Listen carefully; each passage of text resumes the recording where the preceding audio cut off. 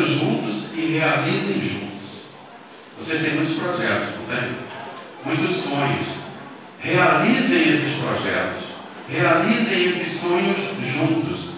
Para que vocês possam continuar assim, ó. Bodas de prata, bodas de ouro. E é maravilhoso ver casais completando bodas de prata e bodas de ouro e bodas acima disso. E eu quando faço cerimônias de casamento, sabe Bruno, eu torço para que vocês dois ultrapassem as bodas de prata, ultrapassem as bodas de ouro juntos, dando exemplo para todo mundo que pode se conhecer no amor, viver no amor e morrer no amor daqui a quantos anos? 50 anos, tá bom? 100 anos, tá bom assim? Será que ele vai ser um senhor chatinho? Não, né? E você viu o que ela fez? Ela balançou a cabeça.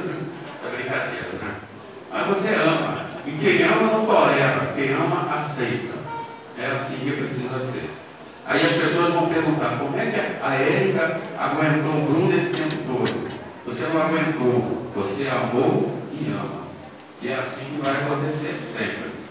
A renúncia, sabe, Bruno? Que Érica? Tá tudo bem, Bruno? Em quando eu vou perguntar isso, tá bom? É, a renúncia, porque assim, quando você casa, a vida de solteiro, ela fica um pouco de lado. Você não vai abrir mão dos seus amigos, não é? Não vai abrir mão do seu trabalho, mas você tem uma nova responsabilidade. Vai chegar sexta-feira e sábado, não vai deixar a esposa sozinha para jogar futebol, né, Érica? Senão você vai puxar a orelha dele. É? é assim. Tem algumas pessoas que casam e acham que continuam solteiros. E não é verdade. Esse, essa, essa, essa postura, às vezes, atrapalha o casal. É do lado da sua esposa sempre. Cuidando dela, amando, respeitando, sendo leal e fiel. Vou fazer uma pergunta para você. Você sabe cozinhar muito bem? Ela falou assim, gente, é. É ou não é? É. Ah, tá vendo? Ele falou, eu gosto. É, eu não sei se você vai continuar esbelto assim, dependendo da qualidade dela na cozinha. Mas até no simples jantar, no fazer um, uma comida, um almoço, um jantar, você está fazendo uma declaração de amor. Porque quando a pessoa ama outra pessoa, ela não vai ficar 24 horas falando eu te amo, eu te amo, eu te amo, porque ninguém aguenta. Amar não são palavras, são atitudes. Amar é ter comportamento, sabe, Bruno e Érica? Amar é sempre algo dinâmico. Você sempre fazendo algo para ver quem você ama feliz.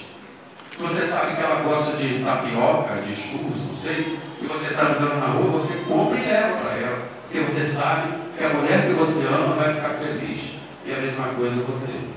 Se as pessoas entendessem que simples gestos e simples atitudes são declarações de amor, muita gente estaria sendo amado e amando muito mais.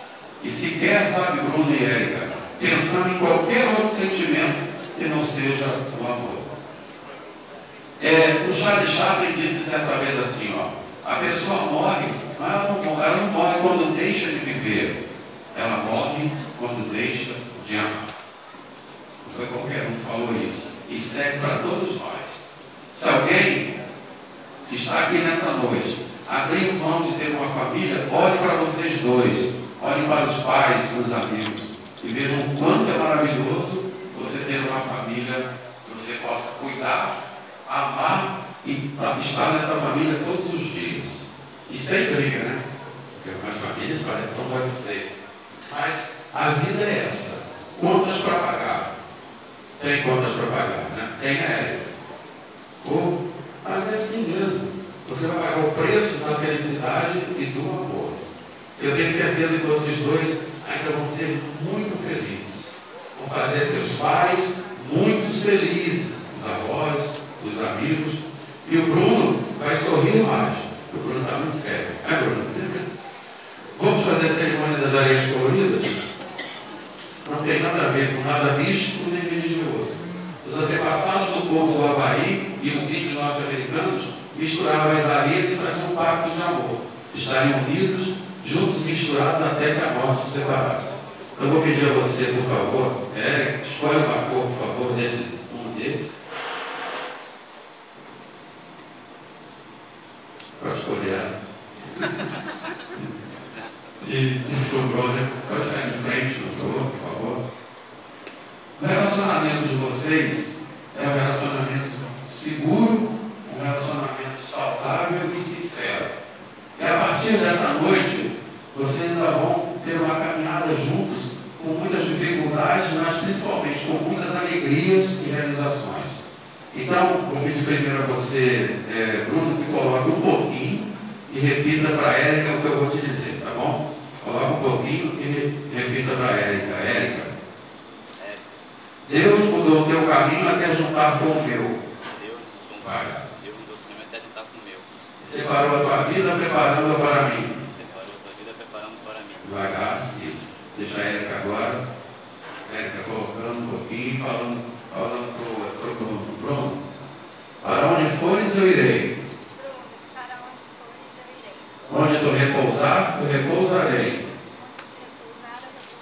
O teu Deus será o meu Deus. O teu caminho será o meu caminho. Agora os dois vão colocar, vamos deixar um pouquinho cada traça no final e não precisa repetir o que eu vou falar, tá bom? Vamos colocar devagar, por favor, Bruno também, juntos os dois. Assim como essas areias estão sendo misturadas, assim será o casamento, a vida conjugal e a família de vocês. Pois aquilo que Deus o amor uniu, o homem não separa. Continuem assim, sonhando juntos, estando sempre pensando um em prol da felicidade do outro. E aconteça o que acontecer, que nada possa ter a força para separar vocês dois. Ok? Isso. Pode deixar aqui. Por que, que fica um pouquinho em cada um? Porque vocês vão continuar sendo Érica e Bruno, com as suas personalidades, as suas individualidades. Mesmo casado. Quem casa não está preso, não, viu? Mas está livre, voando juntos. Ok? Nós vamos